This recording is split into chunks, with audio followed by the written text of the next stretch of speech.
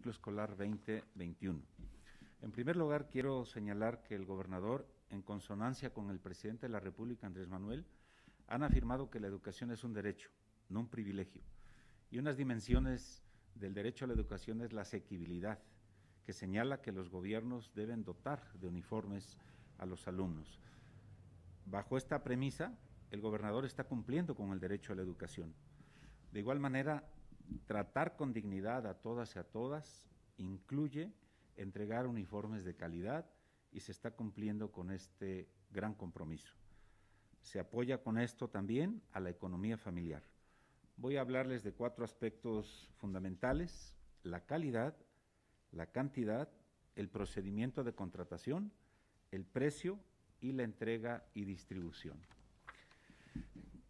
Pedagógicamente siempre ayuda contrastar, se entiende mejor los datos. Por ello, voy a ir contrastando cómo fue la entrega de uniformes de la administración anterior en el 2019 y cómo la estamos desarrollando nosotros.